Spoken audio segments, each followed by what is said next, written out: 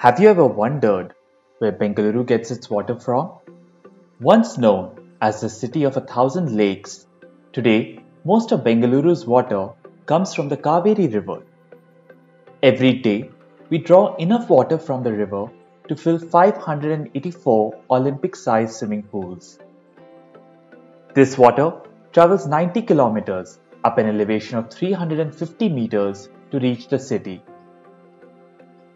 The Bangalore Water Supply and Sewerage Board, the city's main water utility, racks up an electricity bill of 3 crore rupees a day as it fights gravity to pump this water to the IT capital of India. Despite this, water from the Kaveri accounts for only 51% of the city's freshwater supply. So, where does the rest come from? To better answer this question, we at Well Labs documented Bengaluru's water balance. An urban water balance is an overview of how water flows through a city. What are its sources, how is it stored, and what happens to wastewater. To put it simply, it is a city's water income and expenses.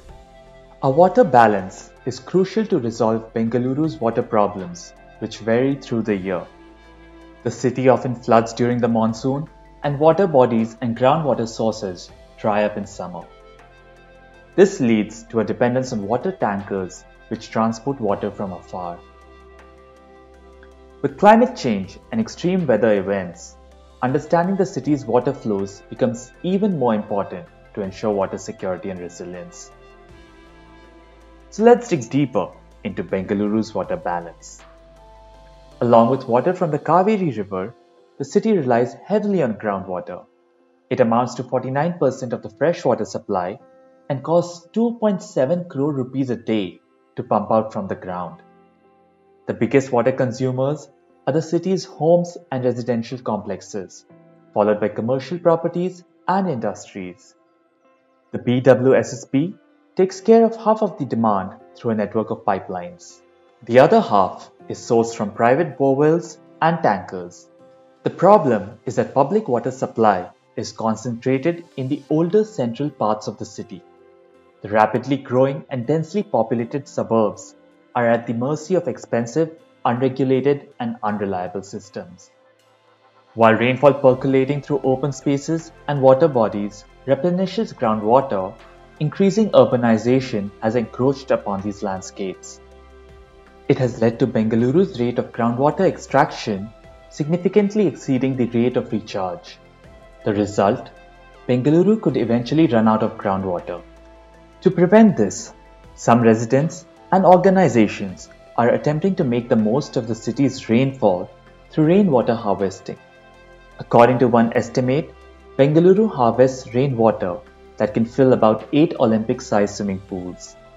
But this pales in comparison to the potential of treated wastewater. Bengaluru generates enough wastewater to fill 776 Olympic sized swimming pools every day. The government treats most of this water in centralized sewage treatment plants. Complementing them are decentralized plants, of which Bengaluru has the highest number in the world. There are over 2,700 of them in apartments and commercial and industrial complexes. Despite these, a quarter of the wastewater flows untreated into rivers and lakes and pollutes them. Only 5% of the treated wastewater is used within the city for domestic and commercial purposes. Some of the treated wastewater is sent to Bengaluru's neighboring districts, where it replenishes lakes, irrigation tanks, and the groundwater.